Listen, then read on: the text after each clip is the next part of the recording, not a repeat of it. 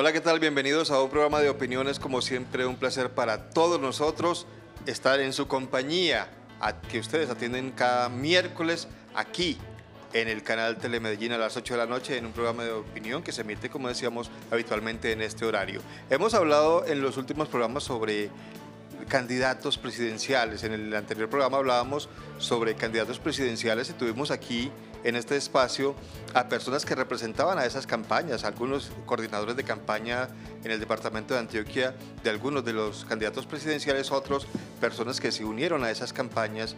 Y en esta oportunidad queremos hablar de las fórmulas vicepresidenciales, es decir, de las personas que acompañarán a esos candidatos presidenciales como sus candidatos a la vicepresidencia. Queremos advertir que invitamos a varias de las campañas para que nos enviaran un representante, ya sea que se acercaran hasta el canal Telemedellín y asistieran de manera presencial o también que lo hiciéramos de manera virtual. Contestaron algunas de las campañas, otras nos quedaron de confirmar y al final no logramos tener presencia de ninguno de los voceros y representantes de esas campañas aquí.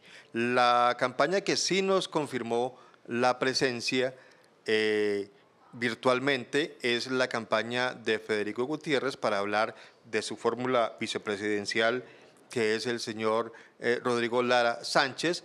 El señor Carlos Negret eh, había confirmado la presencia en el programa mm, de manera virtual, pero a última hora no logramos tener comunicación con él, así que no lo pudimos tener. Las personas que desde el principio nos confirmaron y que están aquí presentes en este programa, en el set de un programa de opinión, a quienes les agradecemos su presencia, pues son los que les voy a presentar a continuación. Luz María Múnera, de la campaña de Gustavo Petro y de Francia Márquez. Gracias, Luz María, por acompañarnos. Gracias por atender esta invitación.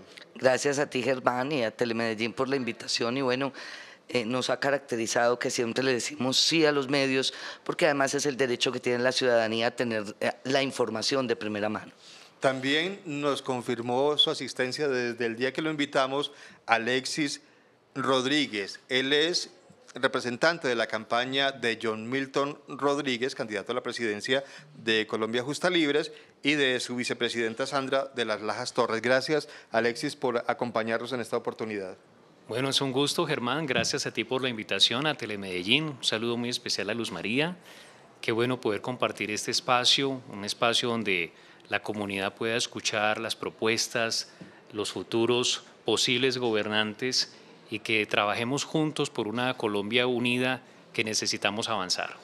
Repito, confirmados teníamos para el programa de esta noche a Luis María Múnera, Alexis Rodríguez y al señor Carlos Negret, ex defensor del pueblo, que hace poco adhirió a la campaña de Federico Gutiérrez. Quedamos en que él iba a asistir en esta oportunidad con nosotros de manera virtual porque se encuentra en Bogotá pero no pudimos hacer contacto en el momento de la grabación de este programa. Si en el transcurso del programa aparece, pues aquí es bienvenido, por supuesto, y todos los candidatos son bienvenidos siempre a este programa. Vamos a comenzar, Luz María, hablando de Francia Márquez. Hemos visto a Francia Márquez volcada en Medellín, eh, haciendo campaña en Medellín para el pacto histórico, pero hablemos un poquito de Francia Márquez. Mucha gente ya sabe quién es ella, pero habrá personas que no, que no sepan realmente de dónde nació Francia Márquez como candidata vicepresidencial del pacto histórico. Hablemos de Francia Márquez. Bueno, Francia es una mujer abogada, eh, es lo primero que hay que decir, además con una cosa bien interesante.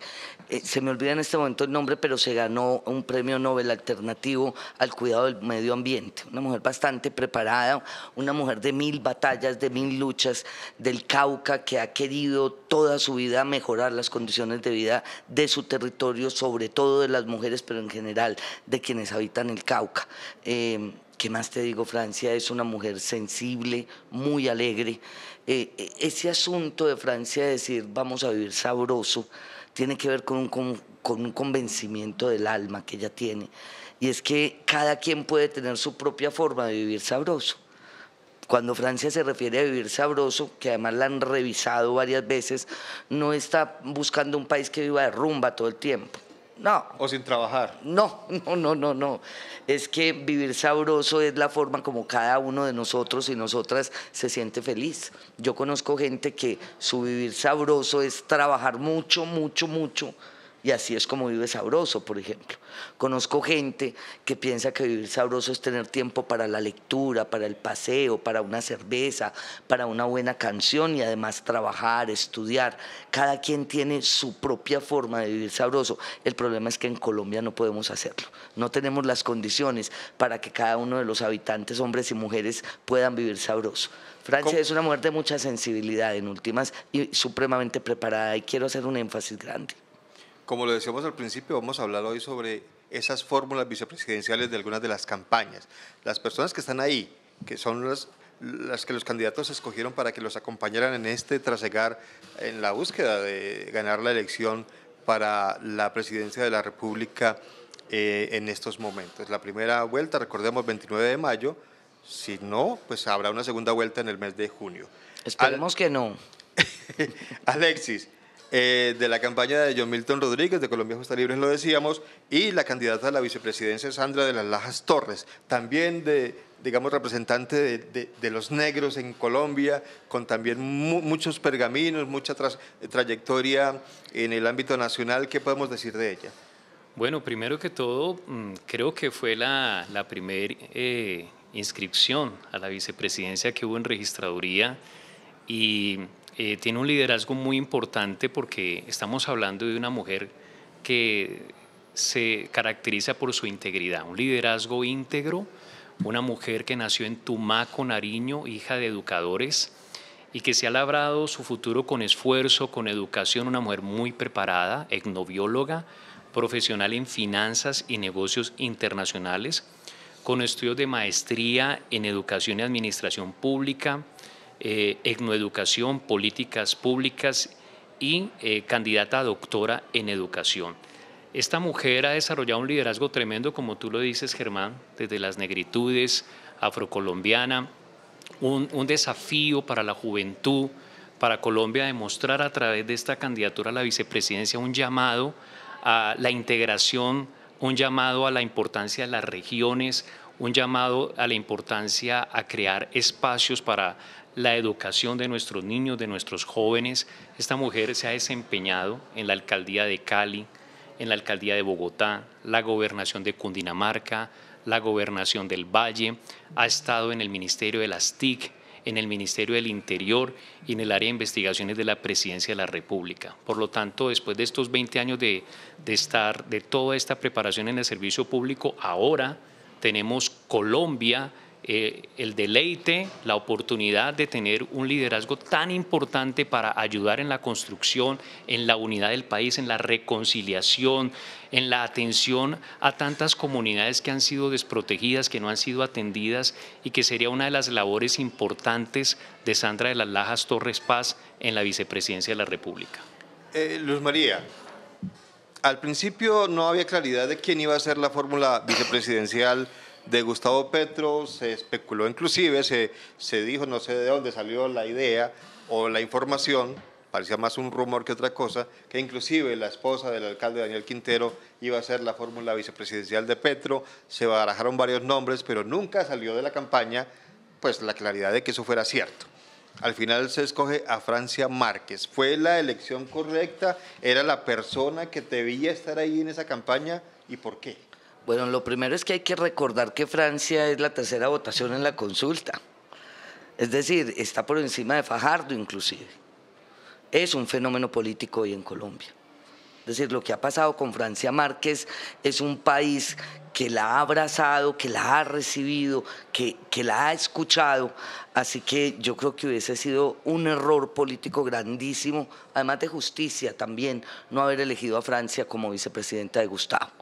Creo que hubiese sido un error político y un no reconocimiento de un trabajo maravilloso que hizo ella. No nos puede olvidar, es la tercera votación de la consulta. Eh, eh, eso como primero. Como segundo, yo creo que fue la mejor decisión que pudimos tomar. Y, es la mejor decisión que pudimos tomar porque estamos hablando de una mujer preparada, una mujer negra, absolutamente negra, Eh, eh, Colombia es un país, como decía Gustavo esta semana en, en, Medellín, es un país multicolor. Aquí no hay blancos, nosotros somos rosados, café con leche, beige, pues blancos no somos, somos, somos multicolores y, dentro de ese mundo multicultural y de ese mundo tan variado, una mujer como Francia, en un país que ha pensado, que todavía piensa y que todavía actúa con racismo, pues el primer paso para el cambio es que el país diga, se acabó el racismo en Colombia y vamos a cambiar de verdad y por eso vamos a tener una vicepresidenta negra, pero no poniendo eso al frente, es que es una mujer muy preparada no sé quienes hayan visto las entrevistas con Francia, Francia no se raja en ninguna pregunta. Francia no tiene que pensar eh, o mirar al asistente para que le diga qué plantea. Francia tiene claro el programa, tiene clara la política y tiene claro el país. Y está hablando de un país como es Colombia, multicolor. Alexis, también una candidata negra en la campaña de John Milton Rodríguez. Eh, usted tiene razón al, hacer la exposición de la hoja de vida de ella pero hay que reconocer que muchas personas no la conocían, digamos que es un poco, sí, desconocida para, para la mayoría de las personas en, Colombia. Eh, ¿Eso no es de pronto algo negativo para la campaña? Pues pienso que eh, Sandra de las Lajas lo que hace es fortalecer la fórmula presidencial, el mensaje que lleva esta fórmula de un mensaje de principios, de valores. Hay una, una comunidad que está, no se siente representada en las candidaturas, en las demás candidaturas. Sandra de la Laja lo que hace es fortalecer el mensaje a esa comunidad que ve en esta candidatura de John Milton presidente eh, una propuesta distinta, una propuesta de valores, de principios, una propuesta de desarrollo desde las regiones. Porque Sandra de las Lajas, al lado de un candidato que es del Valle, que es de Cali, y ella de Tumaco Nariño, al estar juntos estamos enviando un mensaje que hay que repensar eh, a Colombia desde las regiones que el desarrollo de Colombia, el progreso de Colombia es desde las regiones. Entonces, cuando tú colocas, cuando tú ves a una mujer que representa las negritudes, que viene de este trasfondo, que tiene toda esa capacidad, junto con otra persona que es de región también, ambos, y ella está representando un mensaje a Colombia desde las regiones, de oportunidad, de que vamos a hacer una transformación. Porque Germán, hablar de cambio es muy fácil. O sea, uno dice, sale este, entra este, en el fútbol sale un jugador, entra este, es un cambio. Pero el cambio no me, no me dice mayor cosa de lo que necesita Colombia ahora. Cuando tú juntas esta fórmula, John Milton y Sandra de las Lajas, estás hablándole un mensaje a las regiones de transformación porque es que hemos tenido mucho centralismo. Pero cuando tú ves una mujer negra que es ejemplo de vida, de lucha, de esfuerzo, que ha salido de la pobreza, que, que, se ha esforzado, ha salido adelante, es un mensaje de decirle a los colombianos, tenemos una fórmula que vamos a trabajar por las regiones, que vamos a trabajar por la juventud, que vamos a buscar oportunidades de emprendimiento para nuestros jóvenes, para todos los sectores que han sido desprotegidos. Ese es el mensaje que estaríamos enviando, Germán. Bueno, Alexis habla de cambio, Luz María. Cada quien se, se muestra como el cambio y hemos visto en otras campañas a los mismos candidatos presidenciales decir que son el cambio y no continuismo. ¿Y son ellos el cambio o es eh, Francia Márquez el cambio? Al fin, ¿quién es el cambio? No, yo creo que para el país está claro que el pacto histórico es el cambio en Colombia, eh, por muchas razones, pero quería referirme sobre todo a una cosa. Eh, la presencia de Francia es garantía de que las mujeres llegamos a la participación política para quedarnos. La presencia de Francia además es garantía de que no la vamos a jugar toda para la autonomía política y autonomía económica de las mujeres. La presencia de Francia además es garantía del cuidado del medio ambiente, de la promesa que estamos haciendo de cambiar el centro el centro de la economía del país del extractivismo para pasar a la productividad, a un país rico y productivo. El hecho de que Gustavo haya planteado ya que se va a crear el Ministerio de la Igualdad. El hecho de que Gustavo haya planteado ya que ese ministerio va a estar a cargo de una mujer de las calidades y cualidades de Francia, pues es garantía de cambio para Colombia. Pero además, eh, Francia no se ganó, ahorita les decía que no lo recordaba, ya lo tengo aquí, el premio Goldman. No es cualquier cosa, es el equivalente a un premio Nobel alrededor del problema del medio ambiente. O sea, vamos a cuidar la casa de los mayores y mayoras, porque además inclusive... Que está bien dicho. No, afloró la ignorancia de la clase alta de este país en esta campaña. Para mí, yo soy cuasi comunicadora, yo creo que recuerdas que yo estudié comunicación en la de Antioquia, eh, eh, y ha sido muy bello porque lo que hace Francia es traer nuestras raíces. Entonces, en la ignorancia de quienes han tenido todo el tiempo el poder, que nos han quitado nuestro lenguaje, nuestras raíces, llega ese lenguaje que es correcto, que existe, y, ni siquiera se van, la arrogancia es tanta que ni siquiera se van a buscar qué es lo que está diciendo Francia. Y Francia lo que está es recuperando raíces. Porque claro que hay mayores y hay mayoras eh, así la ignorancia de la alta clase política empresarial de este país no sea capaz de reconocerlo. Alexis dice Luz María que el cambio son ellos. Yo pienso que, yo pienso que cuando, cuando nosotros entramos al escenario político, Colombia Justa Libres, el senador John Milton Rodríguez, hay una esperanza para Colombia distinta a la clase política del país, a la clase política tradicional. Hay muchos políticos de carrera que llevan 20, 25, 30, 35 años, pero él, realmente no ha trascendido su participación. Han tenido oportunidad incluso de gobernar y no se ven cambios profundos. Cuando se habla del cambio y uno ve que es una persona que lleva tanto tantos años en lo público, pues uno se cuestiona si realmente ahí está el cambio. Y vuelvo y te repito, Germán, hablar de la palabra cambio es muy, muy sencillo. Pero lo que Colombia necesita es una transformación, una verdadera transformación.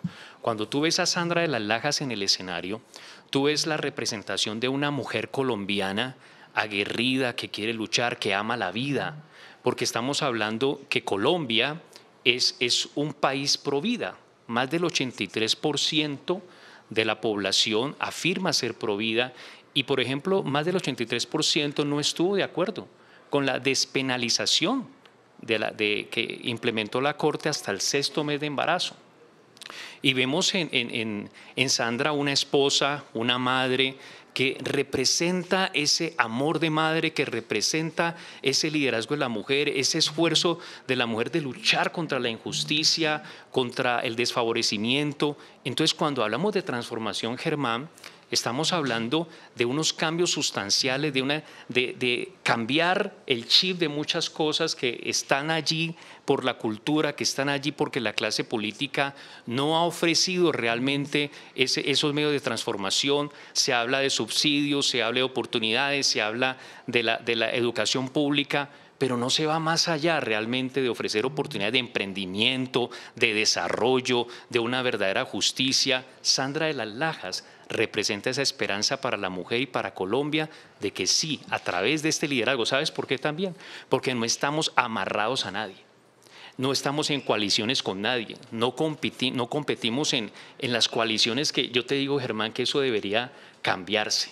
El que va, aspira a una candidatura presidencial a Colombia, que lo demuestre y que vaya hasta el final, porque esos son puros arreglos, componendas, hacer una coalición de saber que ya, ya, ya había una victoria asegurada, hacer otra donde se comprometen cargos burocráticos y esto, y luego para gobernar no puedes gobernar con libertad, no puedes gobernar desde las convicciones que necesita un país como Colombia para ser transformado. Pero muchos dicen que no se puede llegar sin esas alianzas y esas coaliciones llegar solo muy difícil. Pero, pero, no solamente eso, el problema no es solamente es muy difícil llegar y nos aliamos con todo el mundo, es que qué país estamos ofreciendo.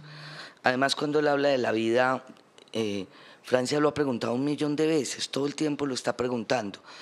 ¿A qué vida se están refiriendo? ¿A la que hay hoy en Colombia? Porque claro, los habitantes que viven debajo de los puentes están vivos. La gente que vive en los ranchos eh, eh, de Medellín está viva. Las mamás que calientan agua con periódico picado y caldo honor para que los niños no lloren de noche de hambre, están vivos. No, esto no es un problema simplemente decir la vida por la vida. Francia Márquez está hablando de vida digna y se la pelea por vida digna. Además con un concepto sobre que todo cambie para que todo siga igual y uno se pregunta, ¿y frente a la paz qué piensan? ¿Qué tipo de paz? Que es un debate eterno, porque aquí muchas candidaturas vienen hablando de un problema de paz de vencedores y vencidos, y esa es la teoría de la guerra, no la de la paz. Francia Márquez está hablando claramente que nuestro concepto de paz, de seguridad que le queremos dar a las mujeres en Colombia, es que la seguridad para nosotras es vivienda digna, es educación, es salud, y hoy no la tenemos hoy no la tenemos. Entonces yo no veo dónde realmente están planteando el cambio, no hay un, planteamiento real de cambio. Y claro que cuando decimos cada una de las cosas que vamos a hacer no son simples consignas. Tenemos un candidato presidencial, Gustavo Petro, además experto en economía, que ha explicado al país punto a punto de dónde sale cada cosa. Estas promesas que además no llegan al fondo de la visión económica, financiera que tiene el país, pues dejan mucho que desear porque finalmente es lo que hemos escuchado. Y frente a la unidad, claro, es que nosotros no queremos un país para que todos pensemos igualito. Francia no se piensa un país para que todos piensen como negros, por ejemplo. Entonces, cuando hablamos de la unidad y llamamos al conjunto del pueblo colombiano y de las organizaciones a unificarse, no alrededor de un problema politiquero, eso lo han hecho otros históricamente, alrededor de un programa, un programa. Y quien quiera que ese programa se aplique en Colombia es bienvenido al pacto. Francia está haciendo un enorme esfuerzo por la unidad, porque no queremos un país, por ejemplo, a nosotros nos gusta el uribismo, siempre lo hemos dicho, pero no estamos diciendo que se vayan Queremos un país donde inclusive el uribismo quepa y pueda vivir tranquilo. Y Gustavo y Francia lo han dicho una y mil veces. No vamos a llegar al poder a vengarnos de nadie, ni no. Queremos un país donde cada uno y cada una, desde el punto de vista ideológico y político, pueda pensar y transmitir. Pero además queremos un país que realmente cambie cosas. Esto no es de consignas. Llevamos 200 años con consignas. Yo creo, Germán, que, que la coherencia es muy importante. Creo que los televidentes que nos están viendo acá tenemos que ser muy conscientes porque es que el 29 de mayo nos enfrentamos a una decisión por Colombia muy importante, por nuestras futuras generaciones. Y nosotros tenemos que tener líderes que sean coherentes para gobernar a Colombia. Colombia es un país con unas complejidades enormes. O sea, yo puedo en campaña mostrar unas propuestas, mostrar un programa y tratar de ganar votos con eso. Pero hasta qué punto realmente ese programa que presenta el gobernante se puede desarrollar e implementar como tal. Y fuera de eso, la coherencia de vida. O sea, la fórmula que estamos presentando desde Colombia Justa Libre de John Milton y Sandra de las Lajas, viene 25 años trabajando con comunidad. O sea, es que nosotros estamos en la política hace muy poco, Germán. Nosotros hemos estado es con la gente dando un millón de raciones de alimento por año en la ciudad de Cali, en el Valle, a la gente víctimas de desplazamientos, de la violencia, creando una, una, una eh, universidad para estratos unidos con becas, una, una, importante beca para que puedan estudiar, apoyando emprendimientos año tras año. O sea, venimos 25 años trabajando con la gente necesitada, trabajando con personas que, por ejemplo, mujeres que fueron violadas, mujeres que de alguna manera, y se les ofrece la opción de vida. La opción, mira, ese bebé no tiene la culpa. Hemos tenido testimonios de vida de mujeres violadas que ahora sus, han nacido sus hijos y están felices con sus hijos, o que se les amenazaba que porque había haber deformación o algo. Los, los casos que la Corte dice de excepción y nosotros no apoyamos eso. Uno tiene que ser coherente, Germán, la coherencia es importante entre lo que uno dice, cómo vamos, por ejemplo, atentados terroristas, y uno ve que hay ciertos grupos políticos que no lamentan eso, que no se expresan. Pero si, si, un joven muere haciendo una protesta, nos expresamos. Hombre, la vida no importa de quién sea, del policía, del universitario, del bebé, de la madre, la vida es importante sea quien sea. Y ahí yo veo que falta mucha coherencia en muchas candidaturas. Entonces yo puedo ofrecer algo que le guste a la gente, tal vez alimentando, porque hoy en día tenemos el globalismo, el progresismo, que de alguna manera predispone el pensamiento de la gente, pero tenemos que ir más allá. ¿Qué coherencia hay entre la persona que es, lo que ha hecho? Lo que ha representado para la sociedad, lo que ha logrado y lo que ahora quiere liderar en Colombia sin amarres políticos de ninguna clase para transformar verdaderamente esta nación. Venga, me va a disculpar Germán, pero es que ahí sí hay cosas que hay que aclarar. Me va a disculpar Germán, pero... Eh, eh, lo primero es que, es que Francia Márquez es una líder social desde los 14 años, tiene 40, no empezó ayer. Y una líder social que no está pensando en darle limosna a la gente, ni Gustavo Petro, ni el pacto histórico. Esto no es un problema de limosnas, no es un problema de llevar 40 años o 50 años llevando almuerzos o mercaditos. No es eso lo que queremos. Nos negamos a ofrecerle eso a Colombia. No es limosna lo que ofrecemos. Ofrecemos un país que se desarrolle, que desarrolle la industria, que desarrolle el campo, para que la limosna deje de llegar como los 80 mil pesos que le dan a la tercera edad. y déjeme que yo lo deje hablar.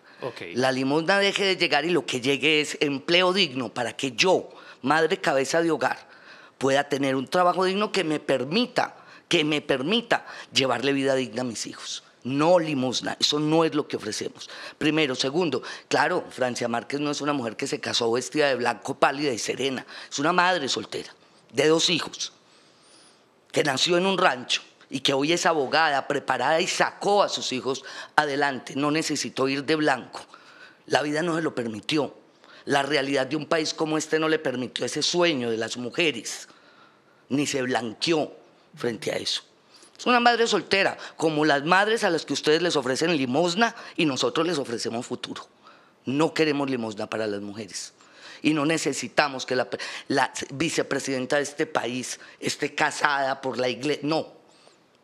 Francia es una madre de dos hijos y los ha criado con la fuerza y la tenacidad de una mujer que cree en la vida pero no en la vida, cualquier vida. Cree en la construcción de vida digna en un país que tiene la suficiente riqueza para darle a sus habitantes. No vamos a ofrecer limosna, no vamos a salir a la calle. Mire, yo llevo regalos en diciembre a niños y jamás le hago propaganda de eso. ¿Sabe por qué? Porque no es limosna lo que le quiero ofrecer a esos niños. Lo que les quiero ofrecer es un país pujante, donde haya empleo, donde haya posibilidades. No queremos a las mujeres recibiendo limosna, las queremos autónomas económicamente. Y cuando hablamos de desarrollar el campo y cuando hablamos de desarrollar la ciudad, estamos pensando fundamentalmente en el tema de las mujeres y en que la seguridad de las mujeres no pasa por los fusiles. La seguridad de las mujeres, las que quieren las mujeres, pasa por conseguirse un trabajo digno, pasa por educación para sus hijos, pasa por vivienda digna. No queremos más un país limosnero, que es lo que nos están ofreciendo algunos partidos y es lo que le han dado al pueblo colombiano durante 200 años. Alexis tiene, por supuesto, derecho a réplica de lo que acabamos de escuchar de Luz María. Sería réplica de réplica. De réplica de réplica, por supuesto, pero de, de eso se trata el programa. Yo le voy a pedir a Alexis que nos aguarde un momentico porque nos están diciendo que tenemos que ir a la pausa. Por supuesto, vamos a retomar tomar este tema después de que regresemos. Ya volvemos.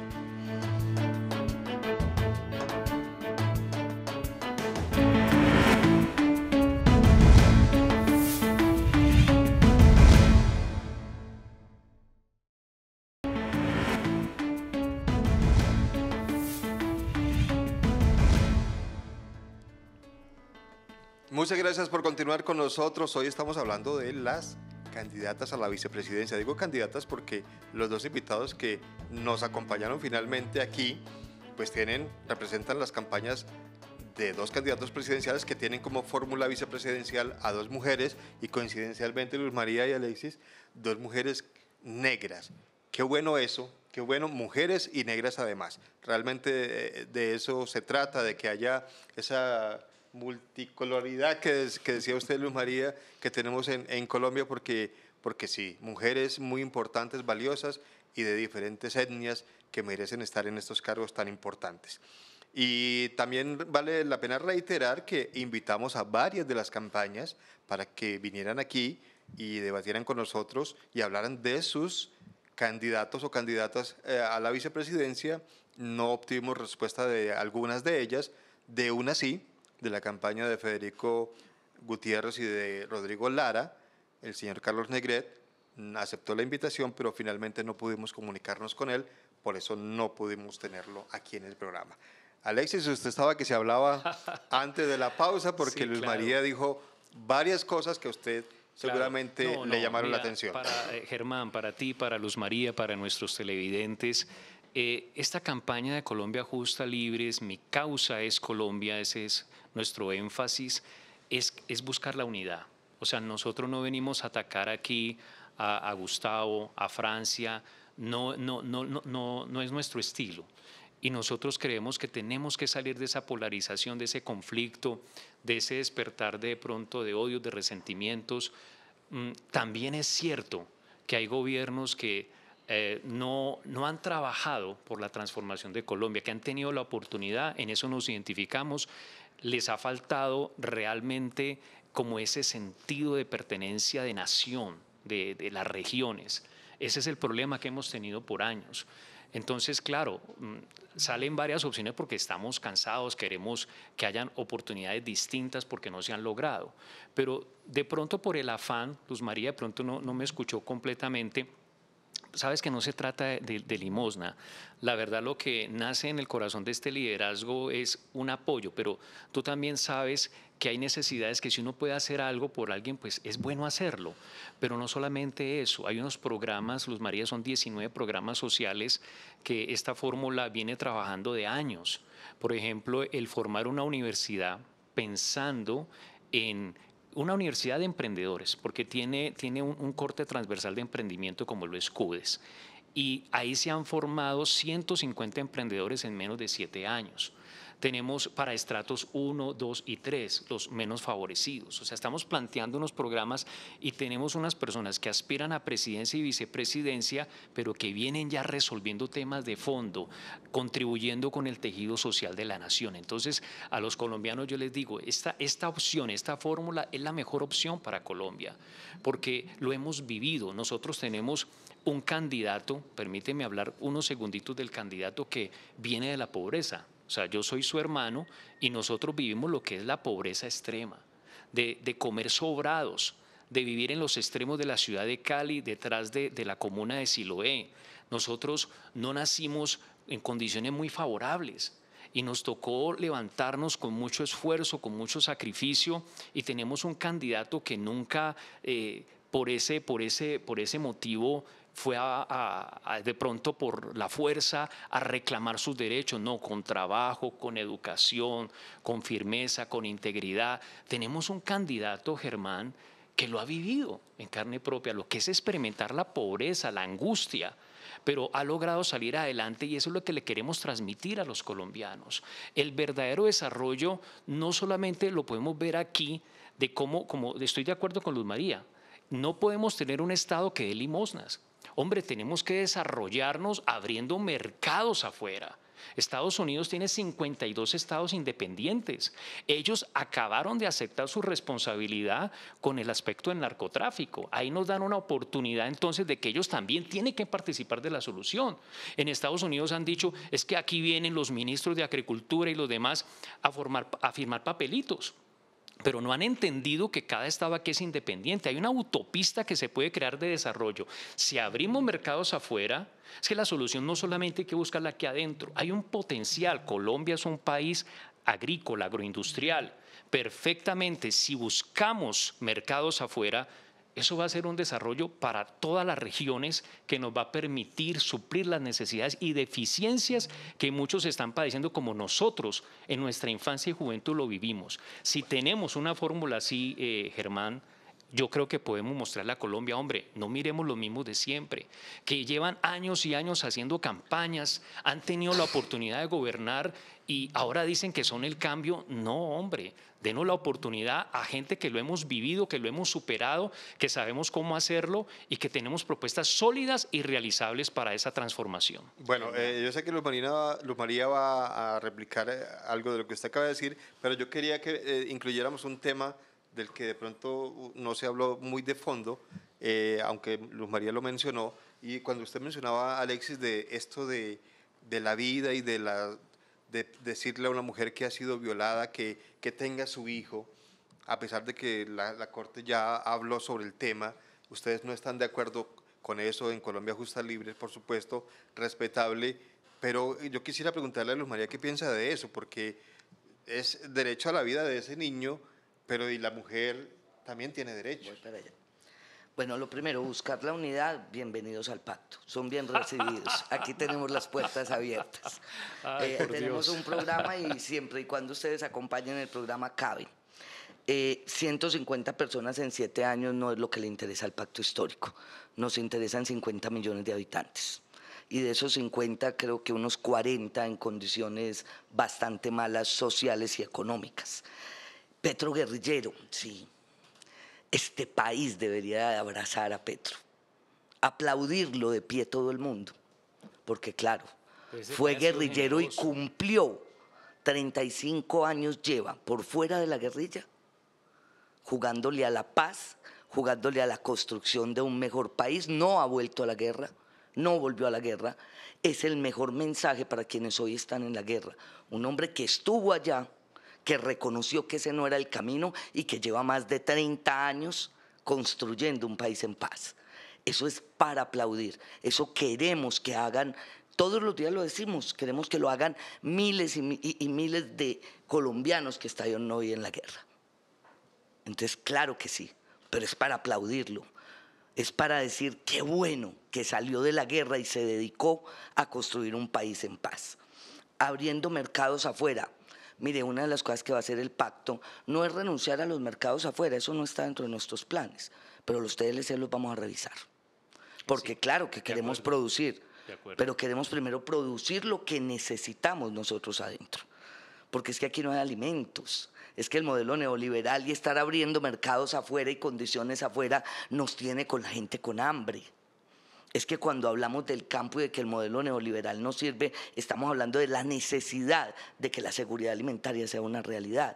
Eh, Este país es un país con todos los pisos térmicos, que puede sembrarlo todo, absolutamente todo. Y acabamos con el arroz. Los arroceros se quebraron gracias a los TLC. La papa, hoy pagamos 5.200 pesos kilo de papa en Medellín. Eso es un exabrupto, ¿cierto? Acabamos con toda la producción. Traemos de China las camisetas y los pantalones y la ropa. Cuando fuimos un país textilero, fuimos un país que producía no solamente tela, sino que producía vestido. No, no queremos más. Nosotros no queremos poner el énfasis en los mercados de afuera. Queremos poner el énfasis adentro. Porque eso es lo que nos crea trabajo digno. Queremos otra vez a las mujeres y a los hombres en las grandes eh, eh, textileras, pero además queremos a las campesinas y los campesinos produciendo alimentos. ¿Sabe por qué creció la coca en Colombia? Porque acabamos con el agro. Cada que una hectárea de tierra dejó de sembrar alimentos, fue campo abierto, verdaderamente abierto, para que la coca llegara y se posesionara mucho más. Y, mire, con respecto a las mujeres, las mujeres hoy en Colombia queremos ser dueñas de nuestro cuerpo y definir por él. Respetamos la corte. Las mujeres del pacto respetamos la decisión de la corte. Sobre mi cuerpo defino yo. No definen más los hombres, no definen más otras mujeres. Nosotras somos autónomas y decidimos sobre nuestro cuerpo. Y nuestro concepto de la vida no es un concepto de vida cualquiera, es un concepto de vida digna y queremos parir hijos para la paz. Queremos parir hijos para la vida digna. Queremos parir hijos para la felicidad. Queremos parir hijos para vivir sabroso. No para seguir engrosando los ejércitos que engrosa este país con los pobres y con la gente que no tiene de qué comer. Hijos que nazcan para la vida digna. Queremos decidir sobre nuestro cuerpo. Ya la, ya la corte nos, nos apoyó y nos vamos a seguir dando esa lucha. Sobre nuestros cuerpos definimos las mujeres. Gracias, señores. Este cuerpo nos pertenece. Germán, Alexis, claro. Mira, lo que pasa es esto, hay, hay varios elementos allí. Primero, los TLC hay que revisarlos, claro. Cuando hablamos de abrir mercados, hablamos de pensar en el desarrollo de nuestro campo, de nuestros campesinos, y quitar mucha intermediación que no permite que el campo y los jóvenes en el campo desarrollen y hay mucho, mucho, mucha, mucha tierra que no se está utilizando como debe ser. Con el tema de, de, de, de las ¿Me mujeres. permite que le haga una... Sí. Usted lo acaba de decir algo interesante y es mucha tierra que no está produciendo.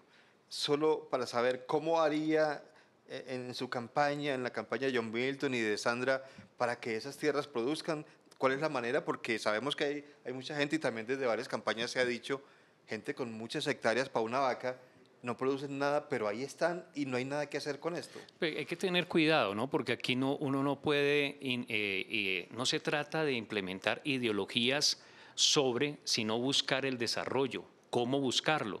Y ese desarrollo se busca cuando abrimos mercados, cuando se bajan ciertas tasas, cuando se bajan como los, por ejemplo, los fertilizantes, los abonos, todo eso hay que facilitarlo. Hay que facilitarlo porque cuando tú eh, encareces estos insumos, va a ser muy difícil para el campo producir. Pero porque se importan. Exactamente, pero hay que, claro que se pueden buscar las maneras y las formas de hacerlo.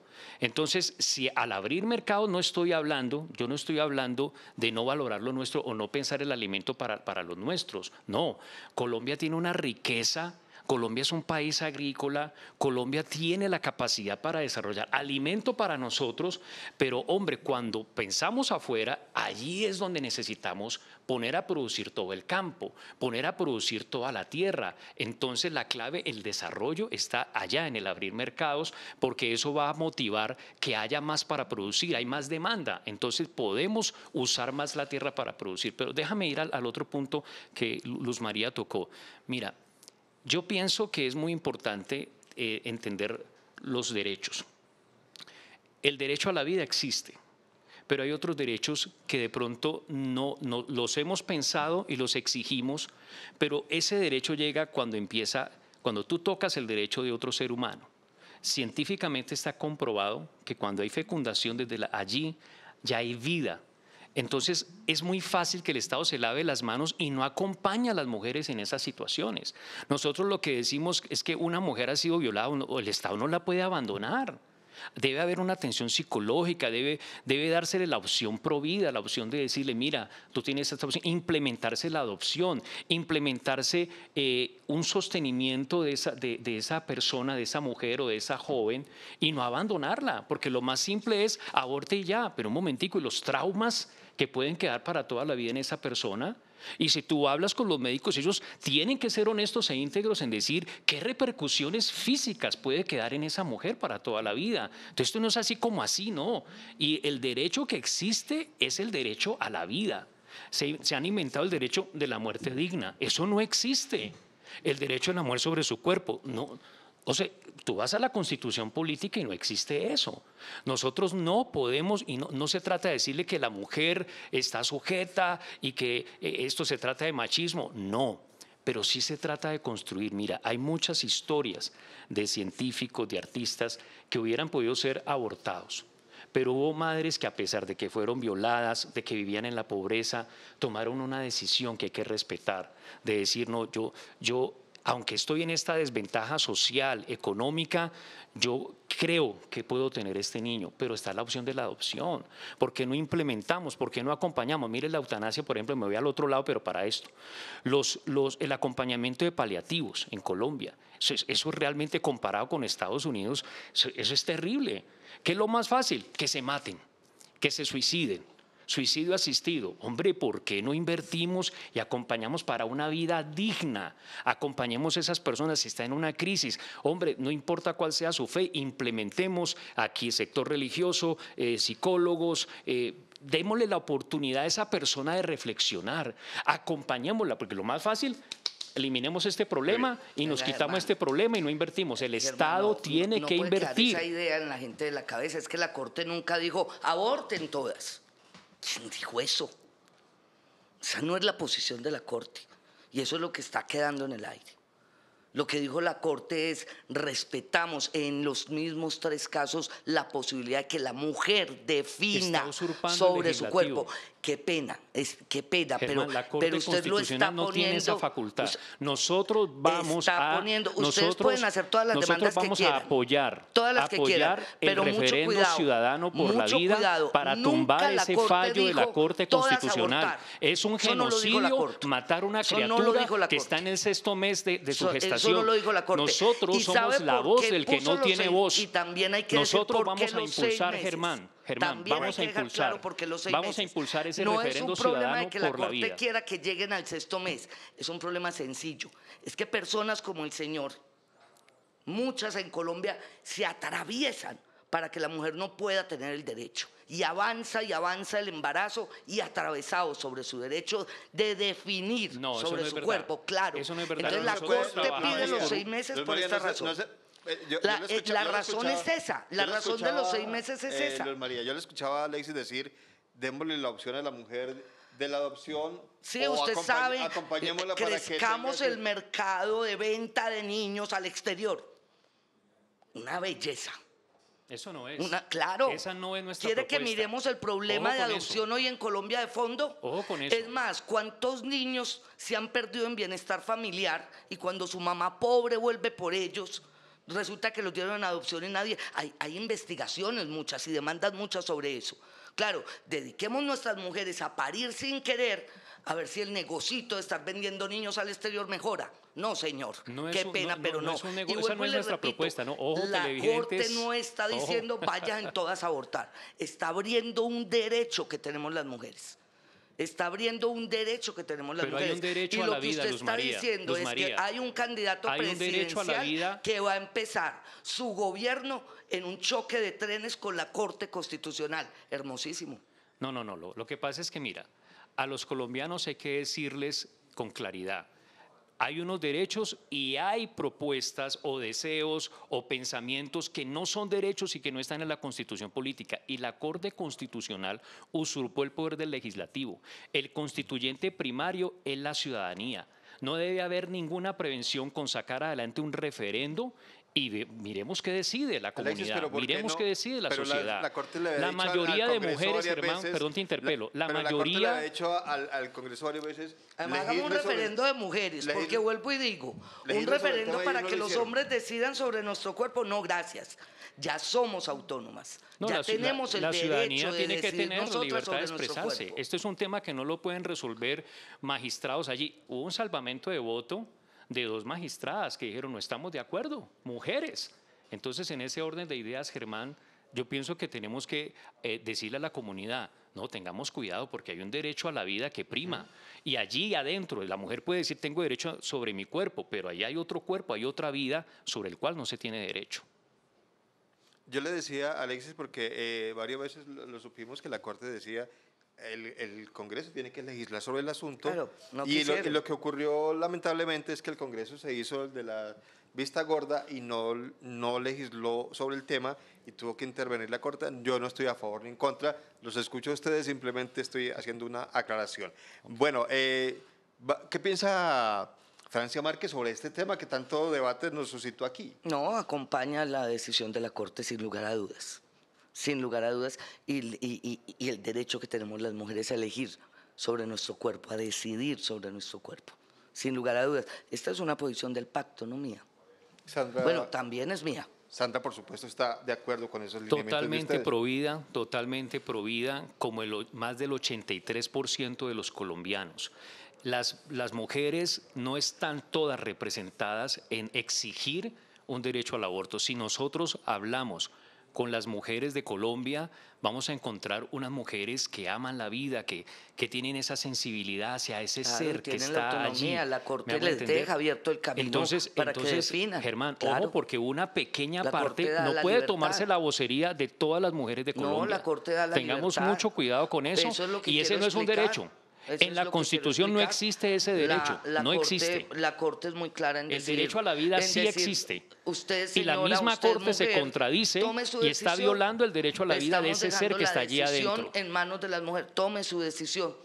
Tome su decisión. Entonces, aquellas mujeres pro vida tienen todo el derecho. Ahí es donde y- el Estado y tiene las que acompañar. Germán. Ahí es Pero donde el Estado tiene que invertir claro, ahí, más y ahí el. Estado metió la mano. Cuando un Congreso que no legisla con lo que se le pide y es una exigencia de la sociedad, pues la Corte entra e interviene. Y claro, las mujeres tienen el derecho de decidir. Yo no digo ni la Corte Además, ha dicho nunca todo el mundo ya abortar. No, ellos es ya una se habían expresado en la autónoma. sentencia anterior. Autónoma. Y ellos hacen una violación porque ya era cosa juzgada. Por otra parte, in- usurpan el poder del legislativo, que el legislativo es elegido por voto popular por el pueblo que supuestamente representa al pueblo. Claro, y la entonces, Corte cuida que ni siquiera el entonces- legislativo pase por encima de la Constitución. Corte Constitu- Constitucional hubiera podido decir, bueno, los ciudadanos tienen la opción, son el constituyente primario, tienen la opción de hacer un referendo. Ellos mismos, como nueve magistrados, y, no, y, y- y tres salvaron su voto, no hubo unanimidad, y tres de ellas son dos magistradas, mujeres. Entonces, eso nos habla mucho. Nosotros vamos a impulsar ese referendo ciudadano para tumbar ese fallo de la Corte. O sea, vamos a, apoyar a los ciudadanos que deseen hacerlo, porque eso lo tienen que hacer los ciudadanos. Pero de parte nuestra, nosotros queremos dar todas las garantías para que los grupos pro vida, para la población civil que quiera liderar ese referendo, hagan su comité inscriptor, sigan Tienen adelante. todo el derecho. Tienen todo el derecho. Todo exacto. el derecho. O sea, usted sabe que Tienen todo el el referendo derecho. está permitido por la ley, por Claro, supuesto, tienen es un todo el mecanismo derecho. válido y lo Claro, aceptan. Claro, eh, vuelvo y te repito. Es que lo que hace la Corte es dar libertad a las mujeres para que puedan decidir. O sea, la Corte no está diciendo todas abortar, hagan fila que a una las atiendo. No, eso no es lo que dice la Corte. Y eso no es lo que se le puede mostrar al país. La Corte es clara. Las mujeres pro vida tienen derecho a tener sus hijos en las condiciones que sea. Y las mujeres que Pero es que el tienen otro tiene- el pensamiento el tienen el derecho a tiene que ser definir. un Estado Tiene- garante, Germán. claro, garante de que yo Garante de tenga esos mis niños derechos indefensos que están ahí. Bueno, ¿Quién- no, quién- no, esa quién- es su quién los posición. defiende a ellos? No, esa es su posición. no, el su Estado- posición el junto a la tiene posición de un Estado demos, a- garante de demos- demos en adopción todos los niños, convirtamos a Colombia en una fábrica tienen derechos. negocio Mira, internacional de Y adopciones. Se nos acaba el Hermosísimo. tiempo, lamentablemente. Una- una última un cosita. minutico, Terrible. un segundo para cada uno, por favor. Las movilizaciones que hubo, la llamamos Déjame nacer en todo Colombia. Tenían todo el derecho a movilizarse. todo Colombia se manifestó. Sí. Todo Colombia mostró, no aceptamos esto. Sí. Eso es un genocidio, por Dios. Muy y bien. hubo mujeres en todo el país movilizándose para lo- agradecerle a la lo- Corte que les permitiera el derecho. el tiempo, Ustedes tienen el María, derecho de Alexis, movilizarse con su despedir. postura y nosotras con la Vamos nuestra. por la opción que Muchas puede gracias. transformar Ese a es el Colombia. país que necesitamos, donde todos María, podamos tener nuestra postura. A ti muchas gracias, Germán, a Telemedellín. Y recuerden, Francia Márquez quiere que vivamos sabroso y quiere crear condiciones de vida para todos los hombres y mujeres de este país y autonomía para las mujeres. Votemos el 29, votemos por el cambio, votemos por la dignidad humana. Petro presidente, Francia Márquez vicepresidente. Alexis, gracias. Germán, a ti muchas gracias. Luz María, gracias por compartir este espacio, un también. espacio democrático. Gracias por abrirnos esta oportunidad Claro sí, Telemedellín. siempre. Decirle a, a los televidentes que realmente la, la fórmula de John Milton Rodríguez y Sandra de las Lajas es una fórmula para transformación de la nación, para esperanza desde las regiones, para construir la nación desde las regiones, buscando transformar aquellas situaciones y problemáticas de fondo de la nación que han pasado años Muy y bien. no se ha hecho absolutamente nada. Muchas gracias. Gracias a los dos por acompañarnos, a nuestros televidentes, por supuesto, gracias por siempre cumplir esta cita de los miércoles a las 8 de la noche en un programa de opinión. Que descansen.